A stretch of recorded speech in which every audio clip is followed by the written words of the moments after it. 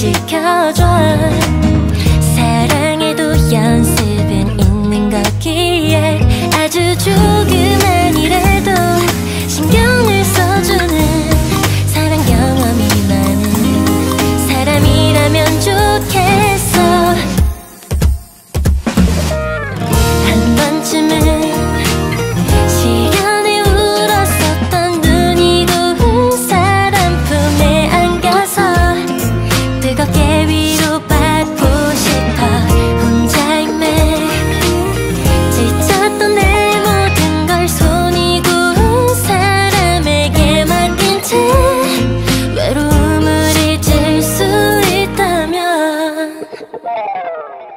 좋은 사람 있으면 소개시켜줘.